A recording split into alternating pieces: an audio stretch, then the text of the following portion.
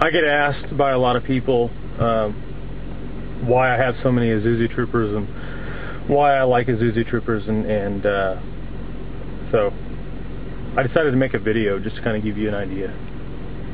I figured I'd take a drive uh, over here to where I keep all these troopers and kind of show you a few things.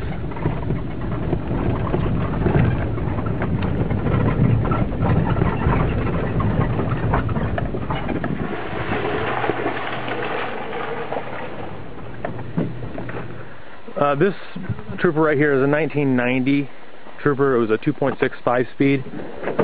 Um, this thing had 235,000 miles on it, I think, when I pulled the motor out of it and traded it to a guy for the 3.5 that I put in that 01 over there.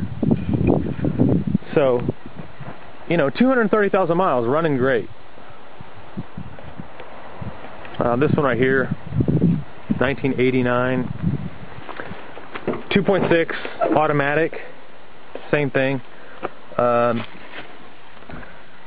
225,416 miles. And this thing ran until just a couple months ago. Whatever, a thousand miles and running good. Uh, I pulled the motor out and put it in one that I had that was cleaner. That thing over there, I don't even know. They all they all have 200 plus, you know. They all come in 200 plus. If I get one under 200, I'm stoked, you know, because they're uh, they're like new. Thing I see this a lot too. Is that the frame is mint, you know, it's perfect. Most of these are. Very rarely is one of these really rotted. Um, I know they do get rotted up north and stuff, but out here, you know, all this stuff is usable for years. You know, all of it, all the drivetrain parts.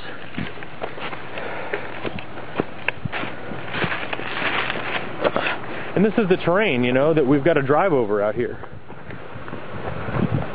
There, uh, you know, I'm sure there are a handful of cars out there that you can get that'll handle this job. But how many of them do you buy for 300 bucks?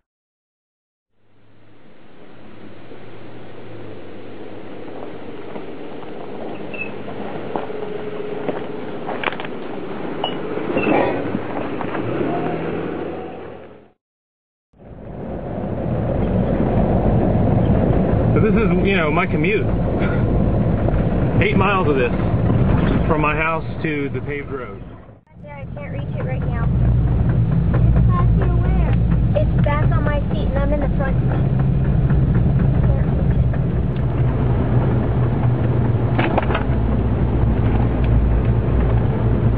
It's a weird wonderland.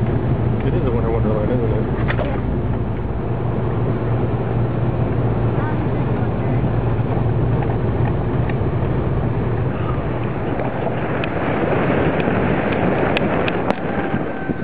Okay, but here's here's the real point. This this is my point. If you're gonna live out here and beat the crap out of something, like I have to, I don't have a choice. Um, are you, are you to do it with a new car? You know, you can't you can't buy new stuff every year. Not not with the kind of money I've got. So, um, you know, I get a hold of stuff like this.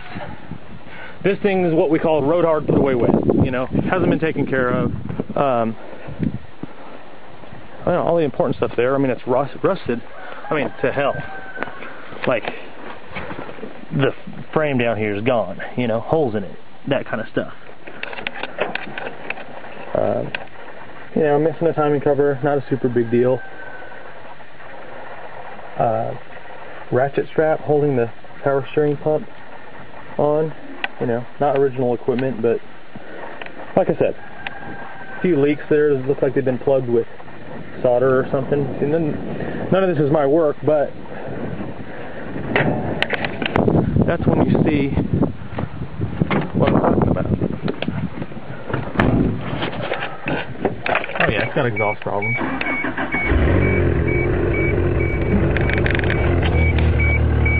What do you say, Jake? there, Jakey. All right.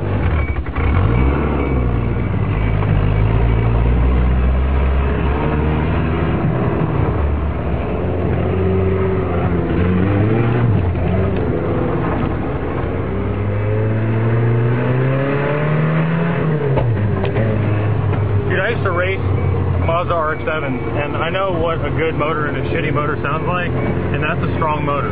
It's backfiring because it's got exhaust issues, but it's not making any noises, it's not knocking, it's not howling, it doesn't smoke or burn oil. It runs back and forth over here. Nobody cares. The dog can ride in it, the kids can ride in it. I can throw greasy parts in the back or firewood in the back or whatever, you know. God knows. Heather's not going to let me use the 01 to do this stuff, you know. I got to have something to do it. You drive around on this stuff right here all day. I mean, literally. What are you going to drive over this stuff? Your nice front?